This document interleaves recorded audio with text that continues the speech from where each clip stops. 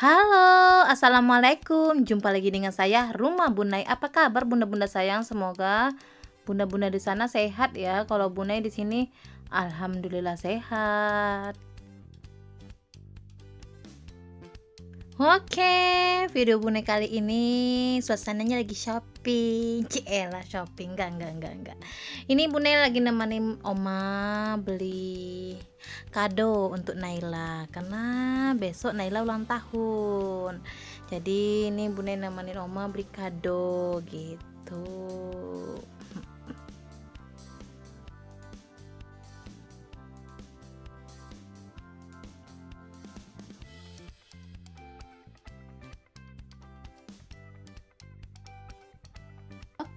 alhamdulillah udah selesai uh, cari kadonya ya. Saatnya kita pulang ke rumah Bunai.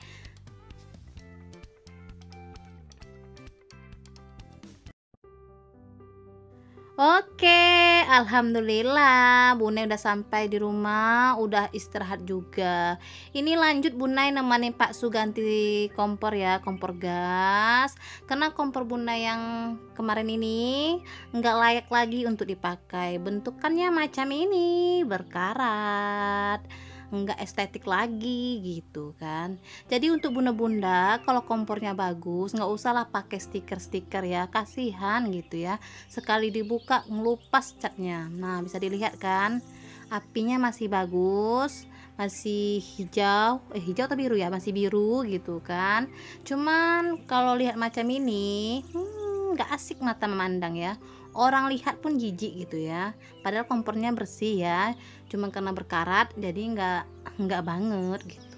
Jadi mau nggak mau bunai gantilah pakai kompor lama bunai. Kompor yang bunai beli pertama menikah ya. Nah ini pertama kali bunai beli kompor tuh ya jadi ini kompor kedua yang bunda beli selama menikah ya. Ini bunda beli karena kompor pertama apinya merah gitu. Terus mau cari servis kompor nggak jumpa-jumpa mau nggak mau beli kompor baru gitu.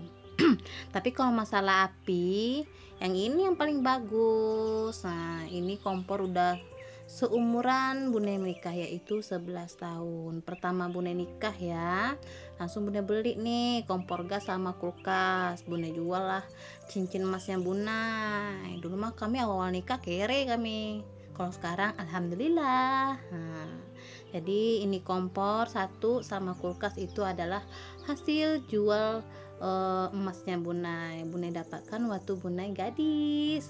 Hmm, macam itu ya. Jadi ini kompor. Kompor lama Bunai ini udah lama loh di apa di tempat servis. Udah dua tahunan lebih baru dijemput. Padahal ini berhujan panas ya tapi alhamdulillah nggak berkarat enggak gimana mana masih bagus ya.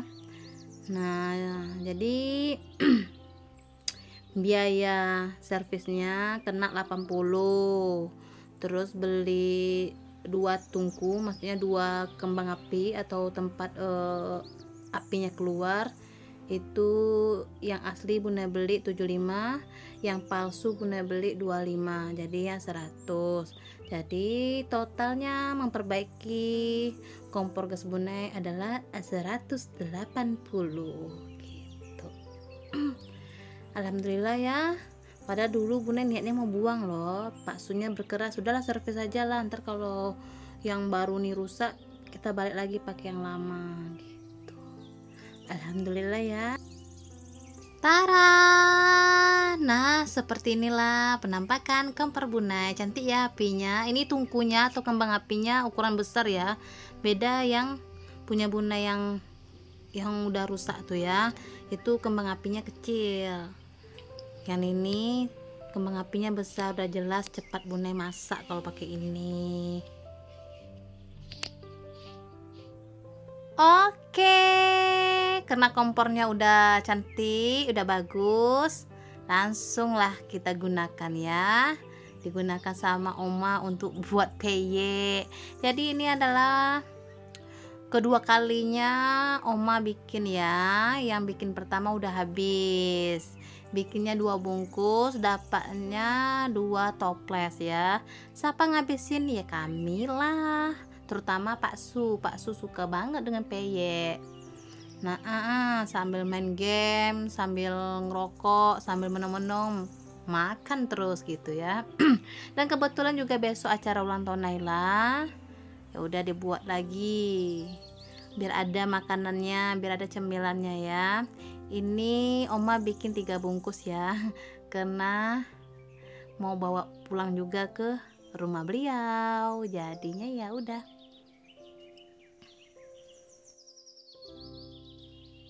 Oke, inilah bentukan peyeknya Oma ya. Ini sesuai requestnya Bunai. Bunai minta agak tipis ya biar banyak dapatnya gitu. Kalau tebal kan dapatnya sedikit gitu tapi ini agak tipis bukan tipis banget ya. Nah macam inilah. Oh ya kemarin nenek nanya apakah oma masih buat peyek? Sampai sekarang enggak.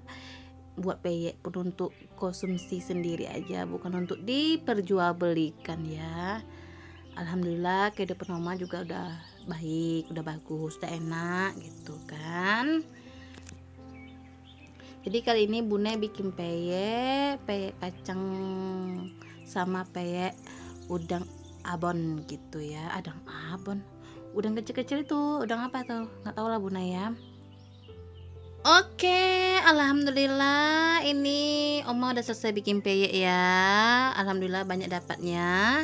Itu dua toples besar udah penuh. Itu juga ada dua bungkus. Mau apa ya? Mau diisi sebagian untuk Oma, sebagian juga untuk mertua Bunda dibawa sedikit gitu ya. Kalau mau banyak nanti makan di rumah Bunda aja. Macam itu. Dan ini alhamdulillah Bune sama Pak Su udah balik dari belanja. Kami belanja ke pasar kaget beli kebutuhan untuk acara besok gitu. Jadi besok tinggal masak aja, nggak ngapa-ngapain. Oke, jadi segini dulu lah video singkat Bunai. Semoga terhibur, semoga bermanfaat. Jangan lupa like-nya, share-nya, dan komennya ya, agar Bunai semakin semangat buat videonya. Awas salam.